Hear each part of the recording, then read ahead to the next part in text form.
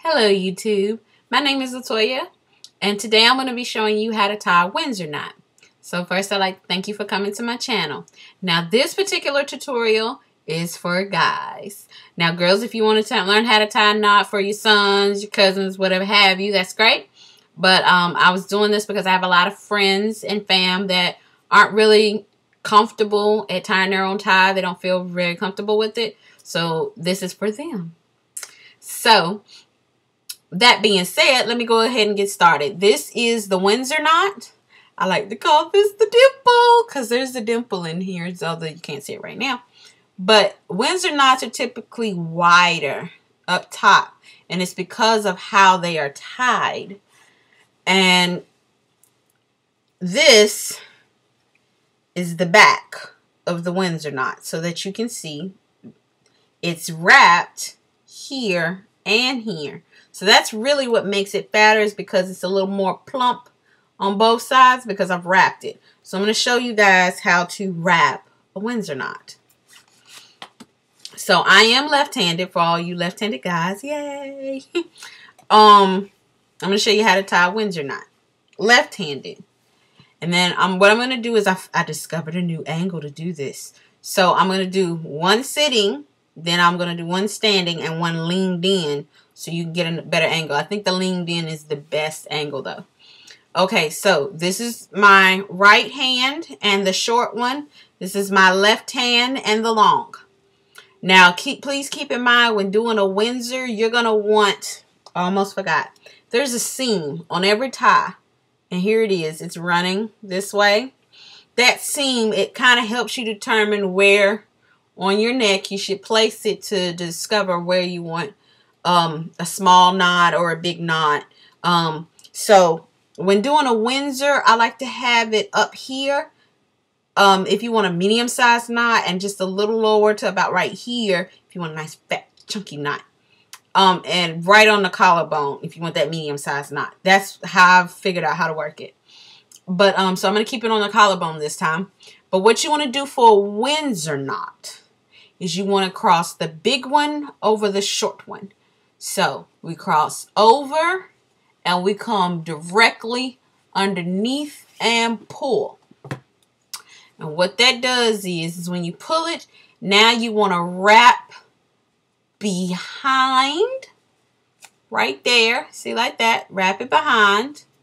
And then you want to go over the top and pull your tie. And there's that, that V. There's a wrap. Here's a wrap. Now, put your index finger there and you want to wrap right across your index finger. Right over your index finger. Okay? And instead of coming all the way back out, you want to come about halfway and then tuck underneath your chin, right? And then once you got it tucked underneath your chin, you want to push out your index finger and stuff the tie in. And that's what gives you your knot. And there's the Windsor. And there's your Windsor knot and there's the big dimple. There's a big dimple in that one. But there's the Windsor knot, okay? And like I said, trying to be careful um, to not put makeup on my husband's tie. There's the back. One and two. So now I'm going to stand up and I'm going to do it leaning so you can see how that looks. Um, one of the other things before I do it leaning is the length of a tie. A lot of guys ask me, where should the length of their tie be? And that's a real easy answer because um, me personally, I am about five four, so my belly button is here and my pants are normally here or up here. I don't like my uh, belly button showing.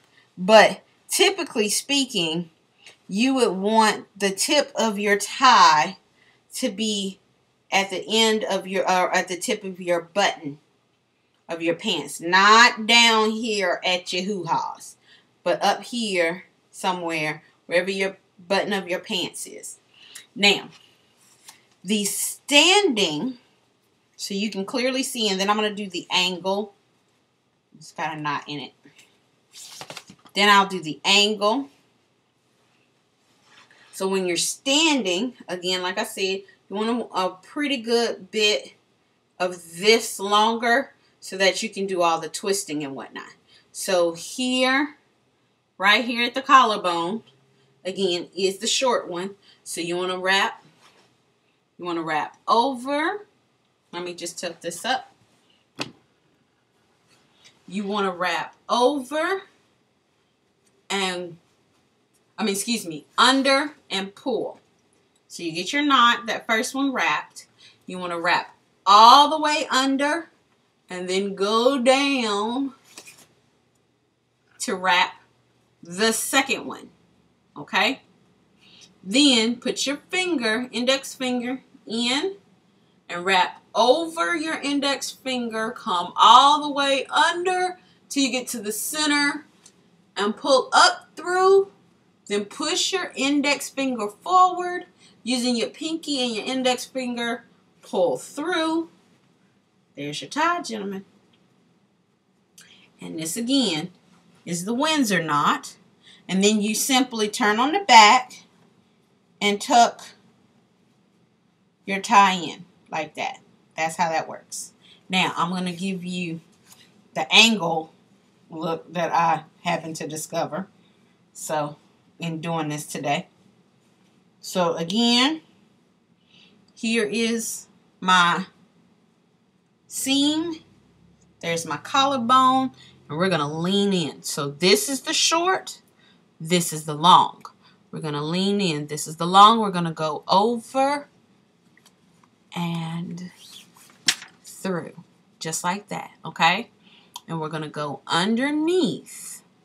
Like that. See? Like that. And then we're going to tuck it in. We're going to tuck it in. Like that. Okay? So now it's tucked. And you now have both covered. Here's one covered. Here's the other one covered. You're going to put your index finger in the center.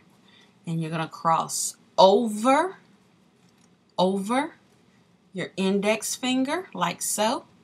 You're going to bring it all the way around until you get to the center and you're going to push up. So it's straight up. Then you're going to use your thumb and your index finger to grab the tip of the tie and pull straight through. Okay? And then you want to pull it to what is comfortable for you. Now, different strokes for different folks, gentlemen.